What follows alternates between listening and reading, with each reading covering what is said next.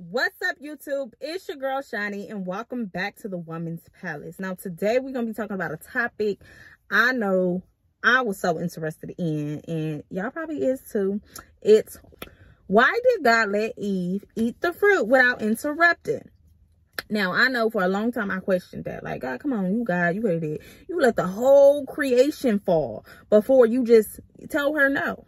But I got revelation. So let's go to Gen Genesis 1 and 26. Okay. And we finna get the answer. And it says, And God said, Let us make man in our image, after our likeness, and let them. This is the key word right here. Let them have dominion over the fish of the sea and over the fowls of the air and over the cattle and over all the earth and over every creeping thing that creeps upon the earth. The key word here is them you got to realize that God gave us the power. God put the power in our hands. So this is where the free will comes into play. And you got to understand that God doesn't go against his word. He, like he said, heaven and earth will pass away before his word returns unto him void. God gave us the power to choose. He gave us to be able to rebel against him, right? So in that sense, he can't interfere with what his word is saying. See, what I had to make what made me realize if God would have interfered with Eve with making her free choice on what she wanted to do, we could never trust God because he would have went off on his word. So it was good for God not to have interfered because that shows that he's a worthy God. He's a trustful God. You can put your faith in him because he don't play about his word. Now he had a backup plan he already had that backup plan for us. And that should show that you that he loves us enough to already have the backup plan just in case we went against him. He let us, let them have dominion, which means let you have the power to choose. This is where he said, I said life and death. I, I hope you choose life, but I'm going to give you the choice not to. So in that sense, he couldn't interfere because he would be going against his word. Something that just kind of like, you know what? It makes sense. The power, God puts the power in our hands. Yes, God is all powerful.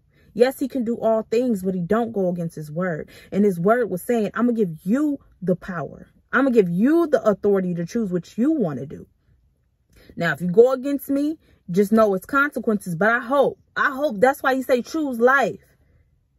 You think about all the millions of trees they probably have. Don't eat from this one tree why did they eat from the one tree? It's always temptation. You think about what temptation comes.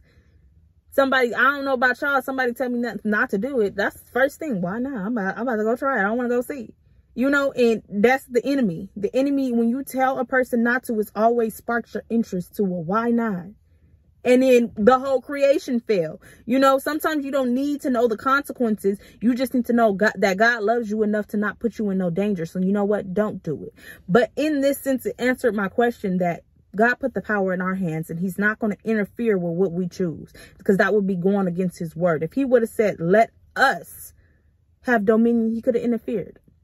But he said, let them. He gave us the power over earth. He gave us the power to choose. And he can't interfere with that because he gave you the choice. So that's why God didn't interfere with Eve. I want you to take this scripture back to God. Reflect on it. Just read it over and over again and get revelation from God.